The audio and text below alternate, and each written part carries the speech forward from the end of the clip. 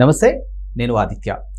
వైఎస్ఆర్సీపీ అధినేత Jaganmohan Reddy red book మీద చేసినటువంటి వ్యాఖ్యల్ని మనం చూసాం. మరి ఇప్పుడు రెడ్ బుక్ అనేది కేవలం అందరినీ భయపెట్టాలని చూస్తుందని దానికి బదులుగా మేము ఇప్పుడు గుడ్ బుక్ రాయబోతున్నామంటూ ఆయన చేసినటువంటి వ్యాఖ్యల గురించి తెలుసుకునే ప్రయత్నం చేద్దాం. సో ప్రస్తుతానికి మనతో పాటు స్టూడియోలో ఉన్నారు టీడీపీ అఫీషియల్ స్పోక్స్ పర్సన్ సూర్యదేవర్లత గారు. సో మ్యామ్ అడిగి మన విషయాలు తెలుసుకుందాం. మ్యామ్ నమస్కారం మ్యామ్. నమస్తే.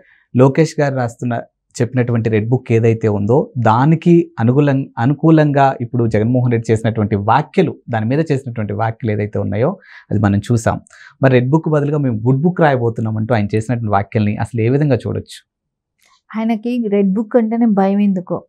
అసలు రెడ్ బుక్లో ఉన్నటివి వీళ్ళు వీళ్ళు ఎందుకు భయపడుతున్నారో కూడా అర్థం కావట్లా. ప్రతిదానికి రెడ్ బుక్ రెడ్ బుక్ అనేది ఆయనకి కళలో కూడా అదే కనపడేటట్టు ఉంది. సో ఆయన రోజు దాని గురించే స్మరిస్తున్నాడు. సరే గుడ్ బుక్ రాస్తానన్నావు మంచిదే. కానీ నీకు గుడ్ అనేది ఎక్కడ సూట్ అవుతుంది యాప్టే అవ్వదు అసలు. అది గుడ్ అనేది ఎక్కడైనా నీ ఐదేళ్ళ పరిపాలనలో ఎక్కడైనా ఒక గుడ్ థింగ్ ఏదైనా చెప్పమనండి? సో గుడ్ బుక్ అని అంటున్నాడు. ఇవన్నీ ఎవరిని బెదిరిస్తాడు? ఎవరిని ఇది చేద్దాం అనుకుంటున్నావు? నీకు సూట్ అయ్యే మా ఇప్పుడు జగన్మోహన్ రెడ్డి గారు ఏం చేశారు? ఏంటి అనేది ఆలోచించుకోవాలి. సో నీకు గుడ్ బుక్ రాస్తానని అంటే ఏంటి? అప్పులు చేసి నేను పరిపాలిస్తాను ఇస్తాను అంతా రాష్ట్రం అంతా దివాలా తీస్తాను. మీకు ఎడ్యుకేషన్ పరంగా నువ్వు చదువుకోలేరు. ఆయన ఉన్న టైంలో ఏమన్నాడు? ఎక్కడైనా గవర్నమెంట్ స్కూల్సే కానివ్వండి ప్రైవేట్ స్కూల్లో ఏదో ఒకటి రెండు స్కూల్స్లో ఇంగ్లీష్ మీడియం ఇంట్రడ్యూస్ చేసేసి నేను ఇంగ్లీష్లో నేను బాగా రాణిస్తుంది ఏపీ మొత్తం అని చెప్పి మాట్లాడటం తెలుగుని తీసేస్తాను అంటాం ఉమ్, ఆ, అక్కడ ఏమైనా జాబ్స్ చేసుకునే అవకాశాలు ఉన్నాయా? ఆ, ఏది రకమైన ఇంకా వేరే కొత్తగా ఏమైనా పిల్లలకి ఎడ్యుకేషన్ పరంగా డెవలప్మెంట్కి ఏమైనా తీసుకొచ్చాడా? ఉద్యోగ అవకాశాలు ఏమైనా కల్పించగలుగుతున్నాడా? ఏం చేశాడా ఆయన గుడ్ బుక్ చేసుకోవటానికి పెట్టడానికి సరే గుడ్ బుక్ నువ్వు అంటున్నావు. అసలు విశాఖ ఉక్కు గురించి తీసుకోండి. ఉన్న వాటిని తరిమేయాలని చూసావు. అంటే నీ సొంత నీ కేసుల మూలాన ఎవరికైనా తీసి తాకట్టు పెట్టారనుకున్నాడు. అంటే ఆయన ఎవరైనా వెళ్ళి కలిసి వచ్చినప్పుడు అంతా కొన్ని పోతూ ఉంటాయి. ఢిల్లీ వెళ్ళి వచ్చినప్పుడన్నీ కొన్ని ఆస్తులు ఇచ్చేసేయాల్సిందే గవర్నమెంట్ ఆస్తులన్నీ. కొన్ని మళ్ళా సెక్రటరియట్ల దగ్గర అట్- అట్లా గవర్నమెంట్ బిల్డింగ్స్ని కూడా తాకట్టు పెట్టేసేసాడు. ఏం చేసావు? ఇవి రాయాలి నువ్వు. నేను చేసిన జగన్మోహన్ రెడ్డి ఏం చేశాడు? బ్యాడ్ థింగ్స్ ఏమేమి చేశాను? రాష్ట్రాన్ని ఎలా దివాలా తీశాను? అని ఒక బ్లాక్ బుక్ రాయాలి. కరెక్ట్ ఆయనకి black book apt. Red good book కాదు రెడ్ బుక్ అంతకన్నా కాదు. బ్లాక్ బుక్ రాసుకుంటే బాగుంటుంది ఎందుకంటే ఆయన చేసినవన్నీ కూడా అలాంటివే కదా.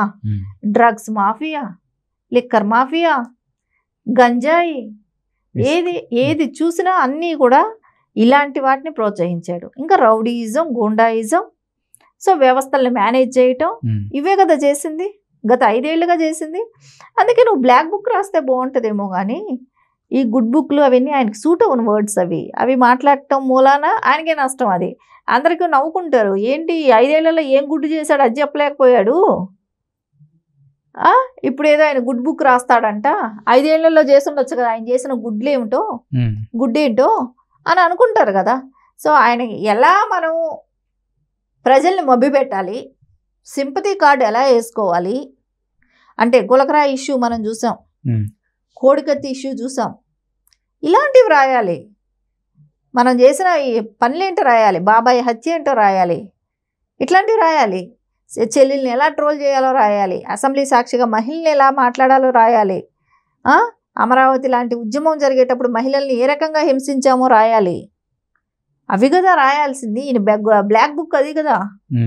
గుడ్ బుక్ అనడానికి ఆయన మాట్లాడిన మాటకి దానికి ఎక్కడ పొంతనే లేదు. సో ఖచ్చితంగా మాట్లాడే మాటలను బట్టి ఇప్పుడు ఆయన నేనేం చేశాను నాకు ఎలాంటి అర్హత ఉంది నేను మాట్లాడటానికి అనేది ఆయనకు అనిపించాలి. సో ఏది పడితే అది మాట్లాడితే ప్రజలు హర్షిస్తారా? అది ఆయన ఆలోచించాలి. ఎస్ ఇప్పుడు లోకేష్ గారు రాసినటువంటి రెడ్ బుక్ ఆ అంశం ఏదైతే ఉందో ఆయన క్లియర్ కట్గా చెప్తూ ఉన్నారు. రెడ్ బుక్ అంటే ఎక్కడైతే ప్రజలకు అన్యాయం జరిగిందో ఎవరు ప్రజలకు అన్యాయం చేశారో వాళ్ళందరికీ సంబంధించిన చిట్టా మొత్తం దీంట్లో క్లియర్ కట్గా ఉంది అని ఆ ఇండైరెక్ట్ డైరెక్ట్గానే డైరెక్ట్ చెప్పడం జరిగింది. ఇప్పుడు జగన్మోహన్ రెడ్డి గారు చెప్పినటువంటి గుడ్ బుక్ మీద చాలా మంది ప్రశ్నిస్తూ ఉన్నారు. మరి ఆయన క్లియర్ కట్గా దాంట్లో ఈ అంశాలు నేను చెప్తున్నారు. మరి మీ గుడ్ బుక్లో అసలు వైఎస్ఆర్సీపీకి మంచి జరగబోతుందా? అసలు ప్రజలకు మంచి జరగబోతుందా? అనే క్వశ్చన్స్ కూడా వేస్తూ ఉన్నారు. మరి దీన్ని ఎలా చూడొచ్చు మా ఆయన ఎంతసేపు ఎప్పుడు ప్రజలకు మంచి జరగాలని పరిపాలించుంటే ఐదేళ్ళలో మనకి ఎక్కడైనా ఒక చేంజ్ కనపడేది. ఎక్కడ ఏ రకంగానూ కనపడలా. ఆయన ఈ ఐదేళ్ళు కూడా ఆయనకి మంచి జరగాలని చూశాడు. ఆయన సొంత ఎజెండాతో వెళ్ళాడు. ఆయన సొంతంగా ఆయన అంటే ఆయన కుటుంబం మొత్తం అని కూడా అనలేము. ఒక అవినాష్ రెడ్డి లాంటి వాళ్ళు ఇట్లా ధర్మారెడ్డి కానివ్వండి సజ్జల కానివ్వండి ఇట్లాంటి వాళ్ళు. వైవి సుబ్బారెడ్డి ఇట్లాంటి వాళ్ళ ఆధిపత్యం నడిచింది.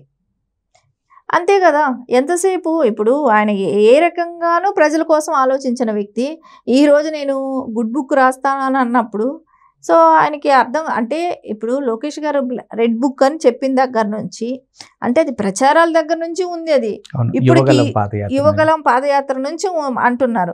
కానీ ఈయనకి ఇప్పుడు స్టార్ట్ అయ్యింది అనమాట అంటే నీకు ఈ మూడు నాలుగు నెలలే తట్టుకోలేకపోతున్నాడు. అంతే కదా?